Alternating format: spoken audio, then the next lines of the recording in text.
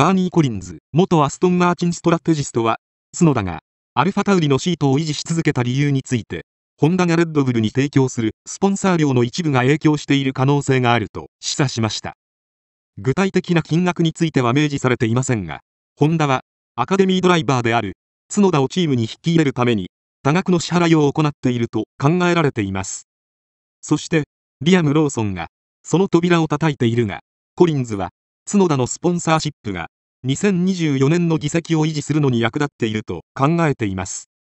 コリンズは F1 においてスポンサーが主導することが多いことを残念に思いつつも角田は単なるパフォーマンスだけでなくスポンサーサポートによってもシートを獲得している可能性があると述べています。一方でリカルドの怪我による代理でローソンが参戦した際レッドブルは3台の車が2台になる問題に気づきました。しかし2024年の契約においてローソンは1年間離脱せざるを得なくなりました。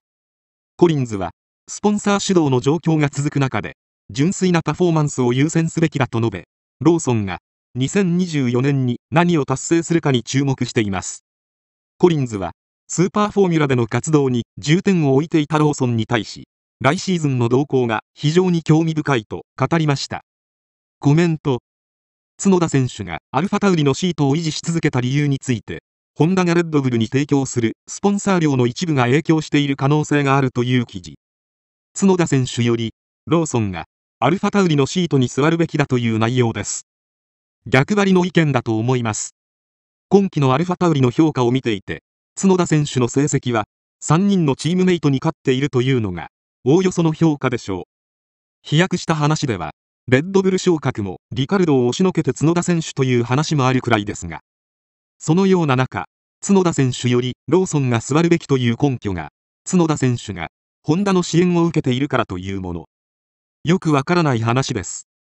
文中にもスポンサー主導の状況が続く中で純粋なパフォーマンスを優先すべきと書いてあります。パフォーマンスであれば角田選手が上です。それでもローソンというのは成績の判断が間違っているとしか思えません。